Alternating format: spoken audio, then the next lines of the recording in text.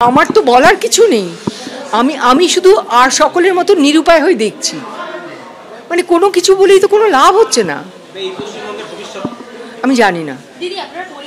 অন্ধকার অন্ধকার দিদি পরিবর্তন চেয়েছিলেন সেটা কি সেই সময় ভুল সিদ্ধান্ত বলে মনে হয়? না পরিবর্তন না, ভুল সিদ্ধান্ত নয়, পরিবর্তন দরকার ছিল। তখন সিপিএম যে লেফট আর্ম যেটা করছিল সেটা অত্যন্ত অন্যায় করছিল। আমরা সেটা ভুলিনি, তাদের হারমাত বাহিনী, যে গ্রামকে গ্রাম ভোট দিতে দেয় না, সেগুলো সব আমরা দেখেছি। সুতরাং সেগুলো আমরা ভুলিনি, কিন্তু তার বদলে এইটা তো আমরা চাইনি। আর এই আমরা তখন, আমরা যে, আমি যে, ব্যক্তিগতভাবে আমি রিফিউজ করেছিলাম মমতাকে মিট করতে, কোনোদিন কোথাও মিট করিনি, আমাকে সবাই রিকোয়েস্ট করেছিল। আমি বলেছিলাম, না, আমি যাব না, কারণ কোনো রাজনৈতিক দলের সঙ্গে যুক্ত থাকতে চাই না। শুনুন এবং আমি বলেছিলাম, তারা বলেছিলেন তাহলে আপনি কি সংশোধনবাদী? আমি বলে আমি জানি না। সংশোধন আদৌ হবে কি না, সেটাও বুঝতে পারছি না। তবে আমি এটুকুন বলেছিলাম যে, আমি একটা পরিবর্তন চাই। এখন উনি তখন ভোট ক্যাচার উনি ভোট পাচ্ছেন, সে উনি হয়ে গেলেন মুখ্যমন্ত্রী। সেটা তো আমার কিছু করার নেই, কিন্তু আমি কোনো দিন হ্যাঁ উনি যখন একটা পার্টিকুলার আসনে রয়েছেন মুখ্যমন্ত্রীর আসনে রয়েছেন, তখন যখন আমাকে নিমন্ত্রণ করছেন, ধরুন নন্দনে নন্দনে আমাদের নিমন্ত্রণ করছেন চলচ্চিত্র উৎসবে। নন্দন তো আমাদের সকলেই ট্যাক্সের টাকায় তৈরি। নন্দনে আমরা যাচ্ছি চলচ্চিত্র উৎসব এই উপস্থিত থাকতে, সেটা তো মুখ্যমন্ত্রীর পাশে যদি বস- বসিয়ে দেয় কেউ, তাহলে তো কিছু করার নেই, উঠে চলে যাওয়া যায় না।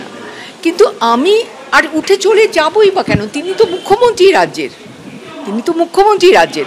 তার কাছে আমাদের তো দাবি করতে পারা উচিত, তার কাছে আমাদের তো সুবিচার চাইতে পারা উচিত, কিছুই তো হচ্ছে না। কিছুই তো আমরা পাচ্ছি না। এবার আমায় যেতে হবে, আমার গাড়ি এসে গেছে। না আমার গাড়ি এসে গেছে।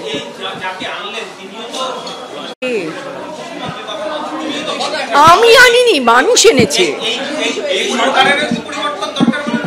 মনে তো হচ্ছে তাই। তাই তো মনে হচ্ছে দেখে। তার বদলে কে? তাকেও তারও পরিবর্তন যায় কেউ কিন্তু নেই, কেউ কোথাও নেই। আমি একটা লোককে দেখতে পাচ্ছি না চারপাশে দুঃখের কথা এখনও বলতে হচ্ছে। এখনও বলতে হচ্ছে, এতদিন পরে। আমার আমার একটা জিনিস মনে হয়, আমি সেটা বলছি, সেটাও খুব কঠিন। যারা বিউরোক্রেসিতে আছেন হ্যাঁ? যারা ধরুন পুলিশে রয়েছেন বা যারা মানে কোনো রকমের যারা সিভিল সার্ভিসে রয়েছেন তারা যদি বলেন এটা, যে যা আমাদের শাসক দল, যে শাসক দলই হোক, যা আমাদের বলছেন লিখিতভাবে দিন। কিন্তু সেটা কেউ বলবে না। কেন বলবে না? তাদের প্রাণের ভয় আছে। প্রাণের ভয় সকলেরই আছে। তারা ট্রান্সফার্ড হয়ে যাবে, নয়তো তাদের কোনোভাবে খুন করা হবে। এ তো, এগুলো তো বা তাদের ছেলে মেয়েদের ওপর অত্যাচার হবে। এগুলো তো আছেই। আমি, আমরা তো একটা মুখ্যমন্ত্রীর জন্য খোলা চিঠি আহ, ওটা ড্রাফট করে দিয়েছে। সেটা আমরা সকলের কাছে দিচ্ছি কিছু কাজ হবে কিনা জানি না। তবে খোলা চিঠিটা যাক। এটা যে চলেইছে চলেইছে গণতন্ত্রের কোনো বিন্দুমাত্র গণতন্ত্রের কিছু অবশিষ্ট নেই আর এদেশে জানি না কিছুদিন বাদে এইভাবে কথা বলাও যাবে না হয়তো। আর সমস্ত জায়গায় সমস্ত সমস্ত রাজনৈতিক দল, সব রাজনৈতিক দল আমাদের রাজ্য ইনক্লুড করে বলছি, আমাদের রাজ্য, আমাদের শাসক দলকে ধরে বলছি, সমস্ত রাজনৈতিক দল একেবারে করাপ্ট আর যারা করাপ্ট নয়, তাদের কোনো আসন তারা পান না। একটা নারীমেদ যজ্ঞ, আর কি বলব? মানে আমি আমি সত্যি আমি বিশ্বাস করুন আমি আমি যদি আমার বলার কিছু থাকতো তাহলে আমি বলতাম।